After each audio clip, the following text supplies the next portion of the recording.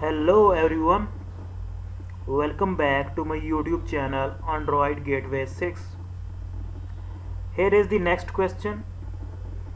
Which TranscribeMe tag should you use if you are unable to make out a word or phrase due to a difficult accent, poor audio, or an unsuccessful internet search? Please type the tag in the box below formatted as per our style and with no punctuation after. Example this tag. So let's see the solution of this question.